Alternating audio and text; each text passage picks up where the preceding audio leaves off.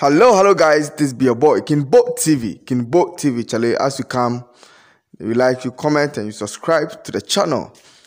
Charlie, as every day we do, um, like every day as we come here, we talk about Shatta Wale, but this time uh, we are in the sad mood.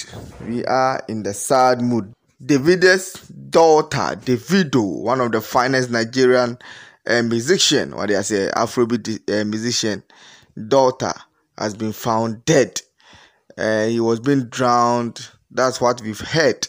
He was being drowned when they were swimming. When they were swimming, and the child get or got swamped by the water. So as we speak now, the Davido's daughter has been found dead. Actually, this is a sad situation for all the Nigerians, all the Ghanaians, all the music lovers across the world. This is very, very sad. This is very, very, very, very sad. As you can see, just a fine daughter. Very, very pretty.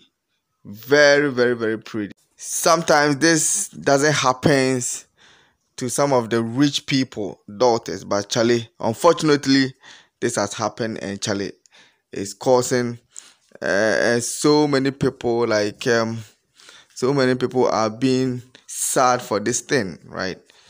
So we are just praying for the child or for the uh, for the baby that may Allah or God bless him, takes him to wherever uh, he goes.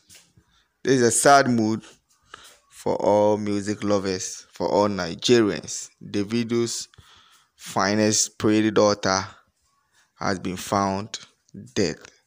Has been found dead. Sorry for that.